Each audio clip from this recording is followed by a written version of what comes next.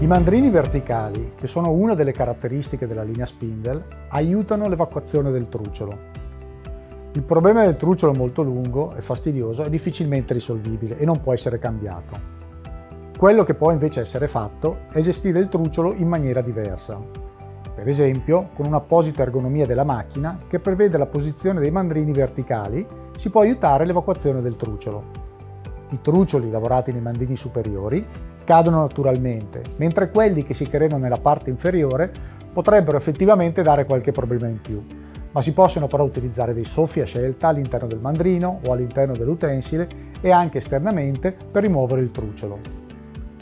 Quando lavori materiali come ottone senza piombo o alluminio o acciaio stampato a freddo, per esempio nei transfer tradizionali, il filo del truciolo è molto lungo e finisce per attorcigliarsi intorno all'utensile, con conseguenza necessità di fermare la macchina.